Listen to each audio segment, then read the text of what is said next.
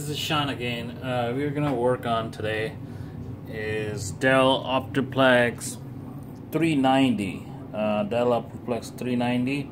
We're gonna install a hard drive in it, and I'm gonna go step by step how to do it, and uh, we'll install Windows 10. Uh, so it'll be a latest one. So we're gonna go step by step.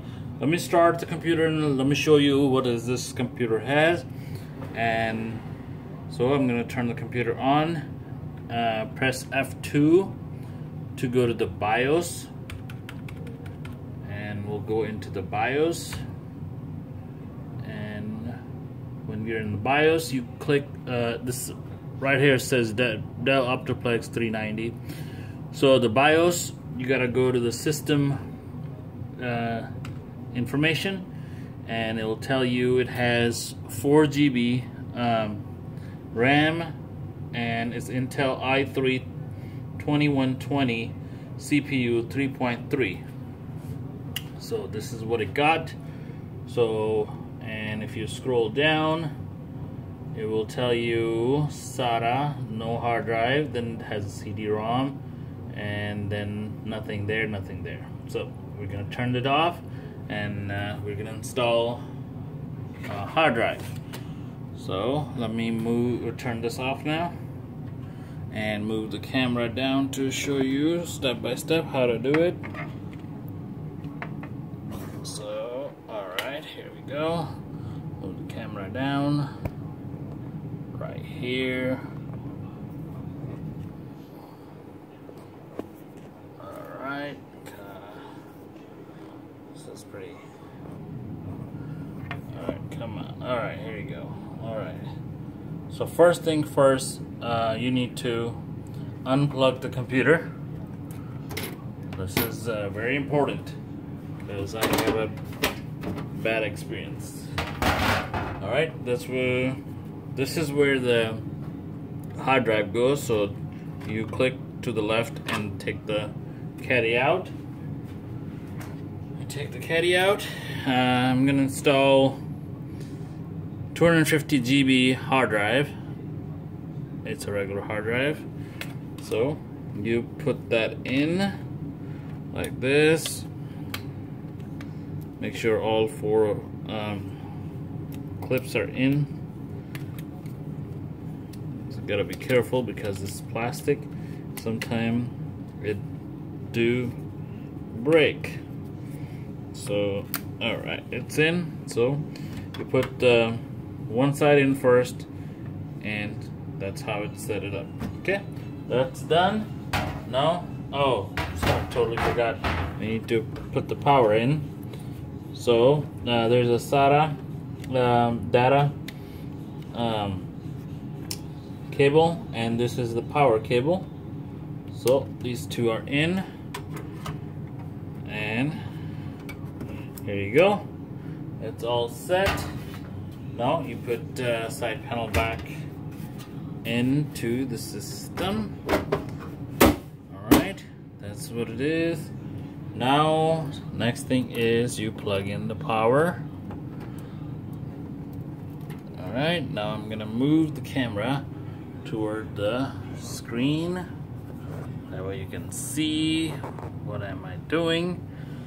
So, I have uh, Windows 10 install in the USB so that's what I'm gonna use. And I'm gonna show you in one of my videos how to uh, make a um, USB bootable drive. So I plug that in. So first I'm gonna show you where you see that hard drive is. So turn the computer on and press F2 to go to the BIOS. And you are in the BIOS and you're in the BIOS and now go to the system and scroll down and you see there is a 250 GB hard drive. Alright now you exit it out and press F12 keep pressing F12 to get to the boot menu. And boot menu that where you see the USB um, drive to upload operating system. So you see the first one is the hard drive, the second one is the USB. So you click down, you press enter, and it's gonna take about uh, a few seconds and it will show you um, what next step you need to do. So just a few seconds, will not be that long. So it's almost done there.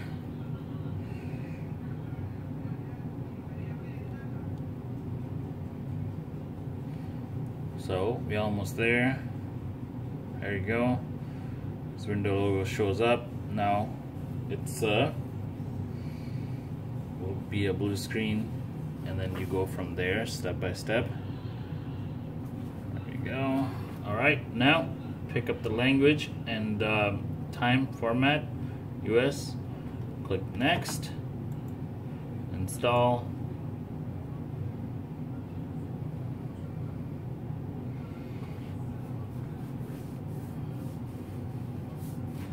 Alright, DLA, there's a digital license activation.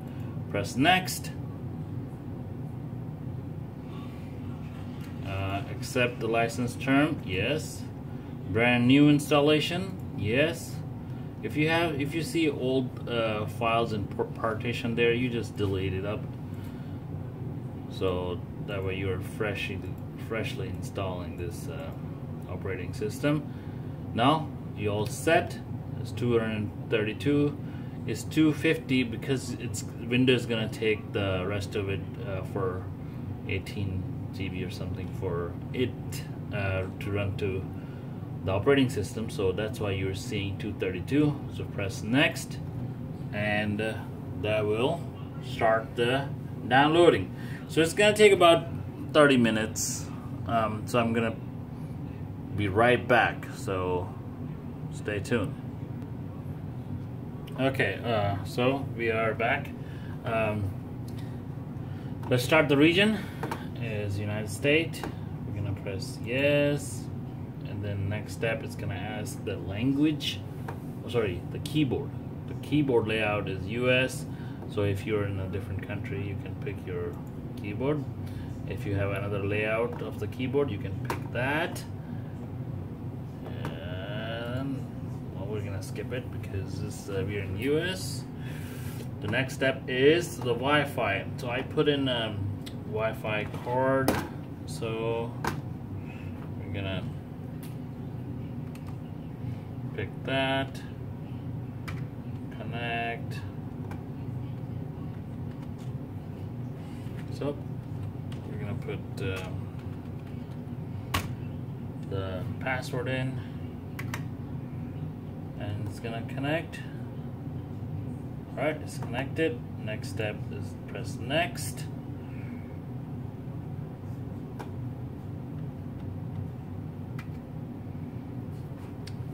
alright so now it's gonna take a few min I think uh, a few seconds.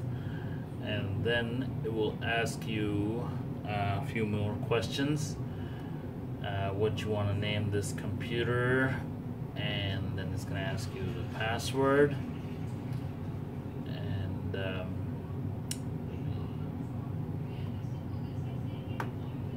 really quick about this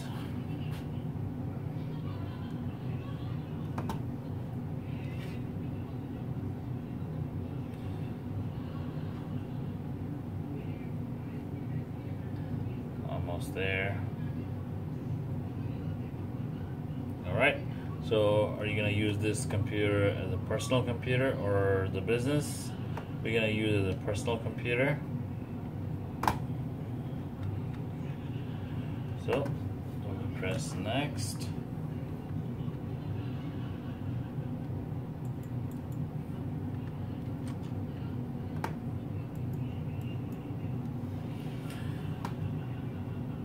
right um, the login here. So uh, so the, the, if you have a Outlook or a Hotmail account you can put that in there but I rather not to so I stay offline account.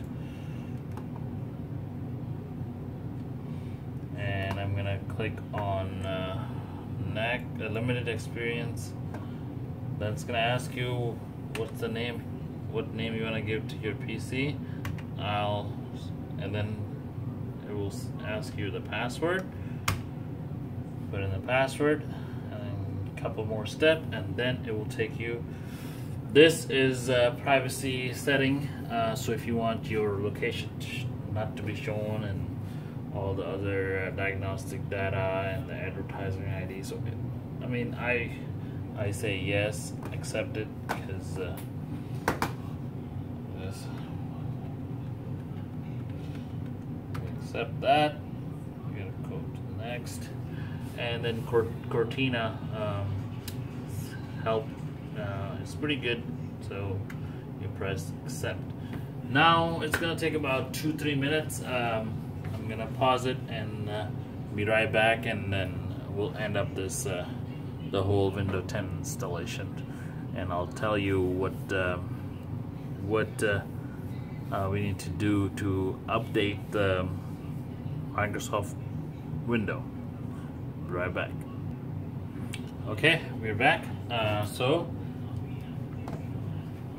back at this. Now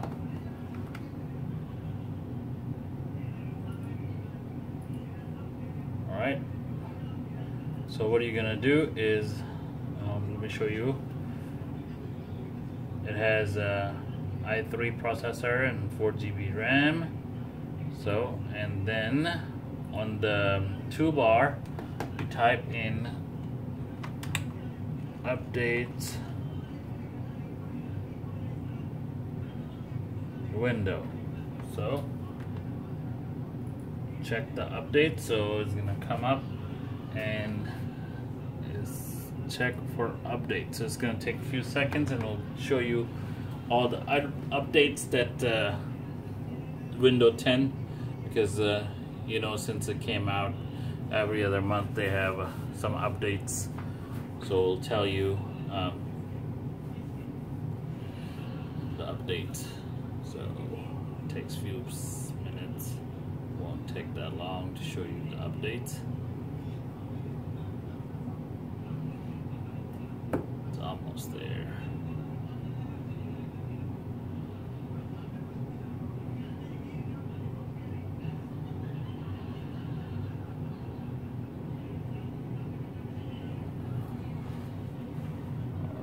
right. Should show up now. All right there it is. So you see all the updates are there. It takes about 30 minutes. You leave your computer running. It automatically uh, updates all your software. And then it will ask you to restart your computer to have everything settled. So that's all there is. If you have any question uh, please ask in the comment section. And please subscribe and click the like button that way other people can get some help from uh, from this computer. Thank you. Have a good day